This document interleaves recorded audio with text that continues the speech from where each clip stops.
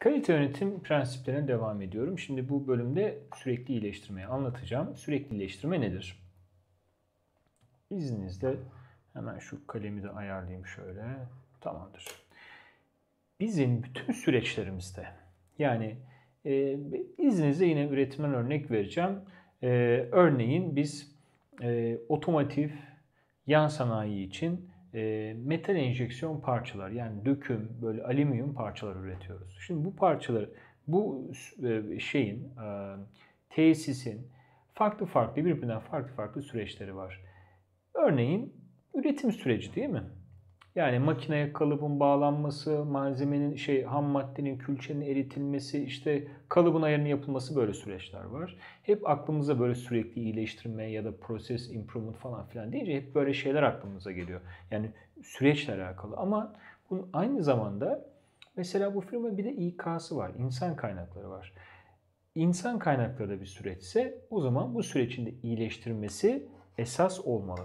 Temel hedefimiz olmalı. Tamam mı? Şimdi insan kaynaklarını hatırlarsanız ya da şöyle söyleyeyim. ISO 9001 kalite yönetim sistemine ilişkin bir eğitim aldıysanız bu kalite yönetim sisteminde bizim beklentimiz bir kere e, her örneğin e, süreç için bir hedeflerimizin olması. Yani e, üretim iyi mi kötü mü? İşte çok üretim yaptık, az üretim yaptık. İşte şu kadar verimliğimiz var, şu kadar üretkenliğimiz var falan filan. Kalite şu kadar müşteri şikayeti, bu kadar PPM. Okey. Aynı şekilde insan kaynakları için de geçerli.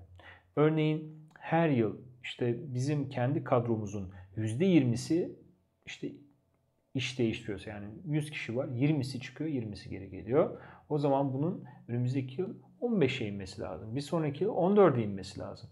Dolayısıyla bizim her sürecimizi bunu altını çizerek söylüyorum. Hedefinde bir kere sürekli iyileştirme, iyileştirme olması lazım. Bunun için bir kere risk ve fırsatları. Yine aynı aynı şekilde ISO 9001 kalite yönetim sisteminde bizim e, standart diyor ki risklerini değerlendir ama fırsatlarını değerlendir.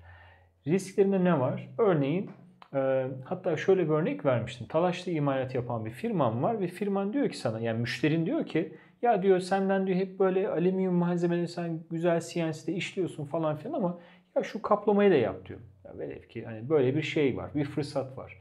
Şimdi bu bir fırsat. Yani eskiden talaşlı imalatı e, sadece CNC'de parça üretip müşteriye satarken artık kaplamayı da yapacaksın. Bu bir fırsat. Okey.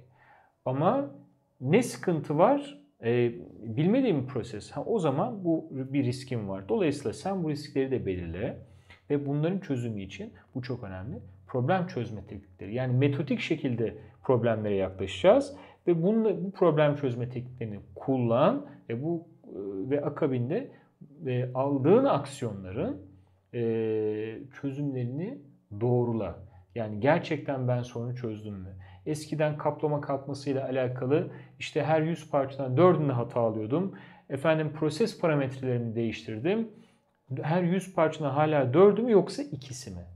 Aynı şekilde bu sonuçların takibi. Yani iyileştirmede sadece sürekli iyileştirme, sürekli iyileştirin. Bir şeyler yapın değil. Aynı zamanda risklerimizi, fırsatlarımızı tanımladık ya.